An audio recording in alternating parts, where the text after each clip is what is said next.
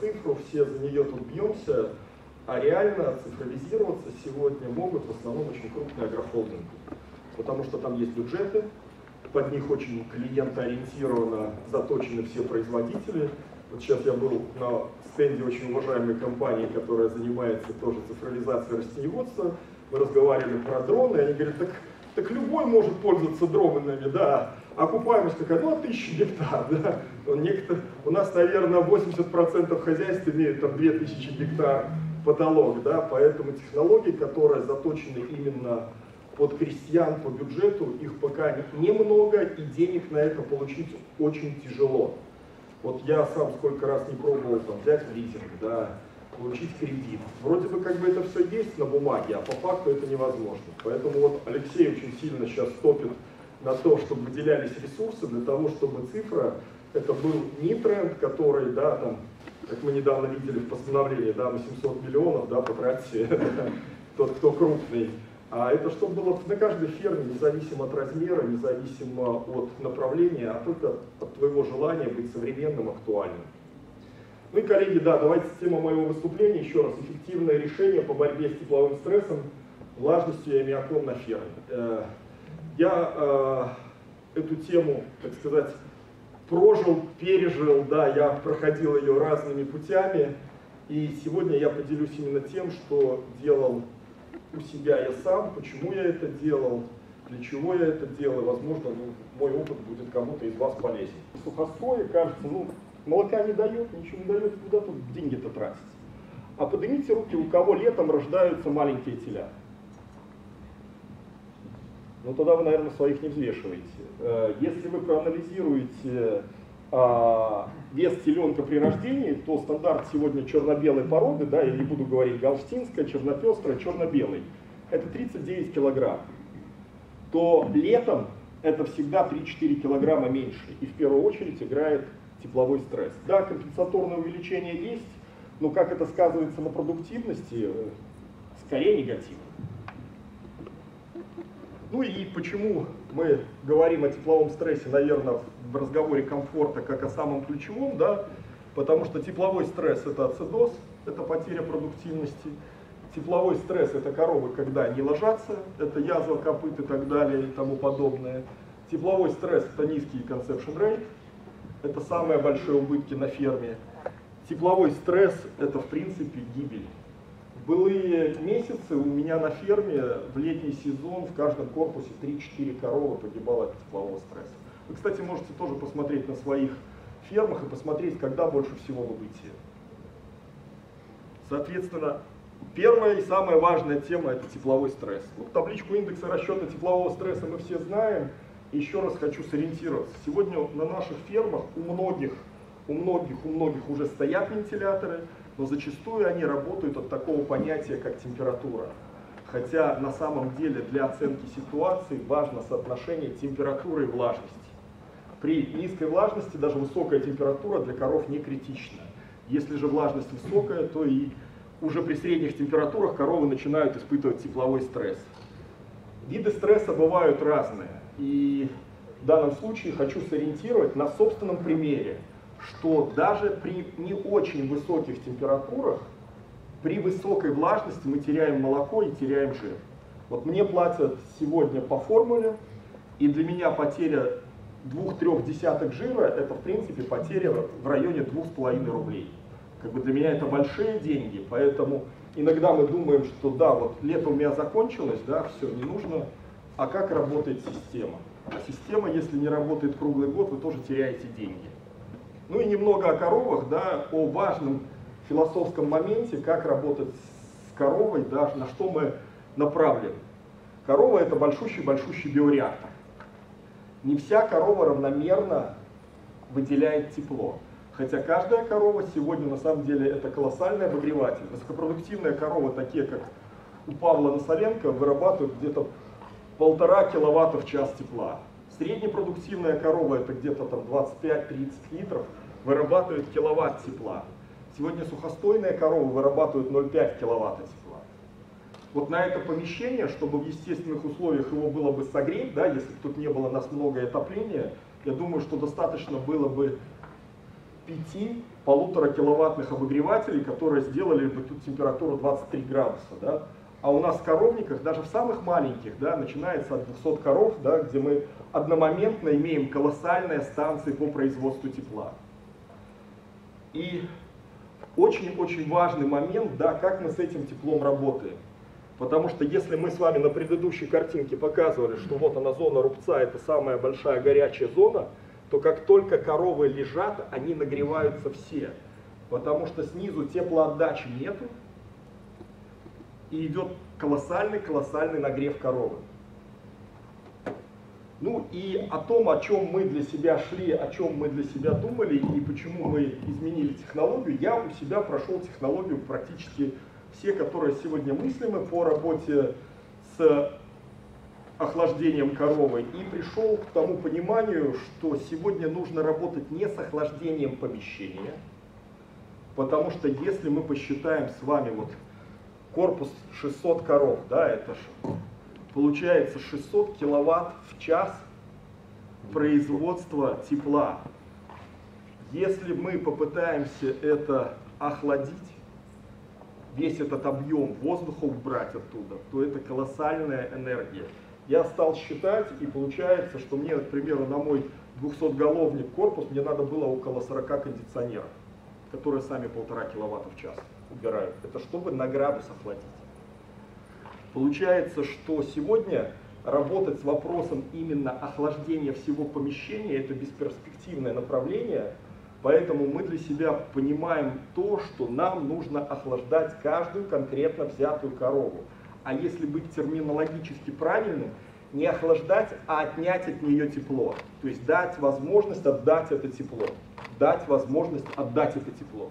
Поэтому мы исходили из философии, от того, что мы дуем на корову, мы снимаем с нее эту шубку тепловую, да, она быстрее отдает тепло, мы опять дуем на нее и так далее и тому подобное. И получается, что мы постоянно даем корове самопроизвольно снижать свою тепловую нагрузку. А как это работает? На самом деле Понятно, что воздух, которым все дуют сегодня на фермах, мы его не можем охладить каким-то способом, и экономики никакой не будет. Поэтому ключевая вещь в охлаждении коровы – это скорость воздушного потока. И о чем мы тоже говорим, о направленности вентиляторов, об их эффективности, это с какой силой они все-таки воздействуют на корову. Мы видим с вами, что если скорость воздушного потока полметра в секунду, то при влажности 70% а летом это довольно распространенная влажность в регионах, которые севернее Москвы, а, у вас охлаждение коровы вообще не происходит. То есть что-то крутится, что-то вертится, а корова это не понимает. И только от 2 метров в секунду наступает эффективное охлаждение. Но в то же время очень важный такой момент, а, кто знает, сколько сквозняк считается? Вот 7 метров в секунду это колоссальный сквозняк а 4 метра в секунду уже считается сквозняк. То есть у нас с вами по сути дельта да, в районе, когда ветра мало, да, то КПД нету, мы только тратим деньги. Когда ветра много, наши животные заболевают. Кстати, если кто-то анализировал свою статистику, когда больше всего животных, коров на ферме умирает от пневмонии? Летом. Летом? Нет, летом. Телята весной, осенью. А коровы от пневмонии умирают летом. Да, совершенно верно, коллега. Поэтому ключевая вещь – это подуть на корову с нужным усилием да, для того, чтобы охладить. И еще очень важный момент. Вы тут жаль нету моего друга Германа, с которым мы многие годы дискутируем о системе орошения и Игоря Бренгольца. Сегодня народ говорит, что нужно орошать корову мелкой каплей. Эффективно это? Наверное, эффективно. Но задаемся себе вопросом, да, еще раз, у нас корова производит колоссальное количество тепла. Зона нагрева рубец. Сколько нужно каплями налить на рубец, чтобы отнять от него тепло? Как нужно лить на рубец? Рубец у нас снизу, а не сверху, да, как бы сверху позвоночник. То есть какой снизу надо распылять? Поэтому вопросы вот эти привели нас к пониманию того, что мелкокапельное орошение имеет место – оно дает эффект, но на самом деле э, для коровы важно мелкодисперсное орошение, цель которого опять-таки резко охладить воздух, А тот, кто использует артезианскую воду, артезианская вода сегодня 4 градуса. То есть создавая мелкодисперсную взвесь, вы моментом охлаждаете воздух и, соответственно, еще больше увеличиваете теплоотъем с коровы. Но вчера подходил коллега, да, с которым мы начали дискутировать, что мелкодисперсная взвесь это пневмонии и как следствие, да, наши коровы летом еще больше будут умирать. И был такой советский опыт. На самом деле я с ним в свое время тоже сталкивался, но тут проблема технологий. Если у вас не будет вытяжки, то никогда не будет работать эта система. На самом деле ваши коровы будут как в бане. Ну и я хотел рассказать немножко свой собственный кейс. Uh, у меня старая ферма, привезенные технологии, 200-головники. В 2001 году мы посчитали uh, расчетно, сколько теряем денег мы за сезон. То есть есть методики, есть научное исследование, сколько теряется за жир, от потери жира в тепловом стрессе, сколько теряется, соответственно, молока, какие потери от воспроизводства. И в 2021 году мы посчитали, что на одном корпусе за счет всех совокупных факторов от теплового стресса мы потеряли 18 миллионов. А на тот момент, правда, цену, цену на молоко мы закладывали 45 рублей. Она у нас была такова. Мы посмотрели и стали искать себе решения, какие мы хотим. То есть еще раз, первое, что мы хотели, чтобы обязательно была вытяжка, принудительная. К сожалению, многие сегодня построили свои светоэрционные коньки с расчетом, что будет само тянуть. На самом деле 10-20 лет тому назад оно так и было. Но сейчас настолько температура поднялась воздуха, что уже в мае мы видим с вами, что половина месяца эта система не будет работать. То есть светоаэрационный конек работает, если снаружи температура ниже, чем внутри. А такого у нас уже сегодня не бывает. Соответственно, мы рассмотрели все возможные типы технологий, которые позволили бы нам охлаждать коров да, и быть эффективными. Я не буду сейчас касаться фактора, который берет, как корову правильно, неправильно мы охлаждаем. Мы посчитали еще важный момент о тех издержках, которые мы будем нести от эксплуатации системы. То есть мы взяли стандартные разгонники, посчитали, что нам нужно, чтобы делать 12 объемов смен воздуха, что сегодня рекомендуется, и получили, что у нас 1,1 киловатт разгонник, 28 надо разгонных вентиляторов. У меня сейчас киловатт стоит 13 рублей, то есть 400 рублей в час работа. Мы посчитали, что в среднем вентиляция работает 12 часов в сутки, умножили на 300 дней, ой, на 30 дней, получили, что 144 тысячи рублей только на разгонные вентиляторы. Дальше мы добавили стандартно для всех вытяжку и орошение. И получается, что разгонные вентиляторы за сезон дают нам 531 тысячу только по тратам на электроэнергию. Я обращаю внимание, что это еще и колоссальная нагрузка. Каждый корпус в среднем у вас будет потреблять порядка 33-35 киловатт в час.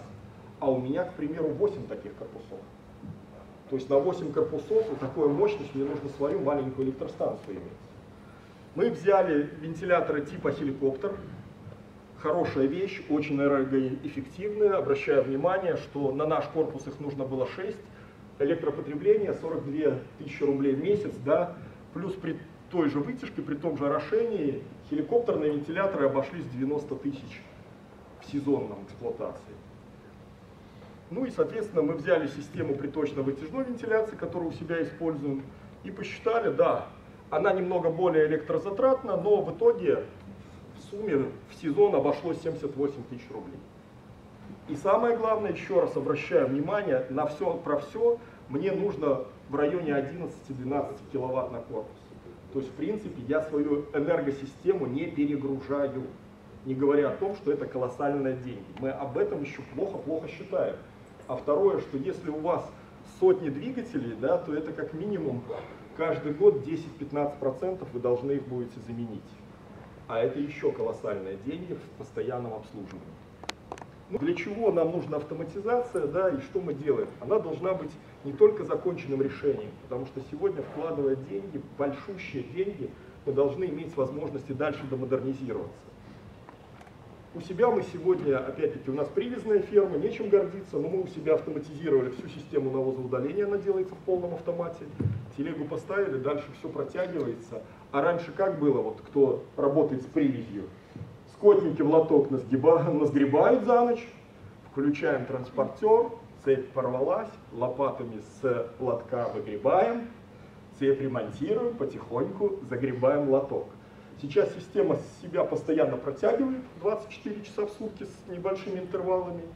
Как бы, и, соответственно, сегодня нету проблем аварийности по цепям, нету проблем по ремонту оборудования. Ну и последний, наверное, такой значимый мой тезис, о котором я хотел сказать, это инвестируйте с умом. Сегодня колебание цены на молоко космическое. Я летом продавал молоко жирностью 4,4, белком 3,7 за 30 рублей. Если на базис пересчитать, это как вода. Сейчас я продаю больше 40. В январе я продавал 47. Прошлым летом я продавал опять по 30. Да? Колебания такие колоссальные по цене, что сегодня прогнозировать на 3, на 5, на 10 лет невозможно. Поэтому инвестировать нужно в то, что деньги принесет быстро, то есть 3-12 месяцев горизонт бизнес-планирования, вот в такие в цифровые модернизации, вот я себе дальше не вижу, иначе непонятно, вернешь ли ты свои деньги. Инвестировать надо так, чтобы это принесло сразу существенную сумму. Да, можно купить какую-то программу, которая там тебе даст 100 тысяч, и в нее потратить там 100 тысяч. Но это бессмысленно в рамках хозяйства, это брызги. Надо тратить миллионы, чтобы получить новые миллионы. И эти деньги, которые вы получите, вы должны иметь возможность дальше реинвестировать в цифры. Потому что, да, можно купить у меня привязь, еще раз подчеркну, мне это очень не нравится, 11 долларов с подменными, да, как бы понятно, что лучше роботы.